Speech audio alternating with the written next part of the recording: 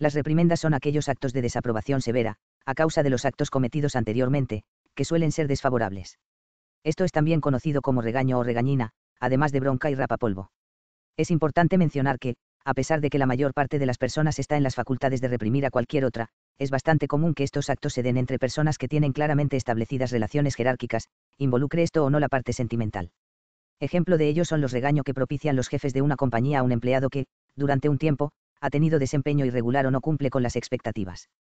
Cuando las reprimendas están involucradas en el aspecto familiar, es normal que éstas se den cuando algún miembro rompe las reglas establecidas por el propio entorno o la sociedad. Sin embargo, estas suelen estar dirigidas a aquellos que todavía están en proceso de formación, es decir, los niños, adolescentes y adultos jóvenes.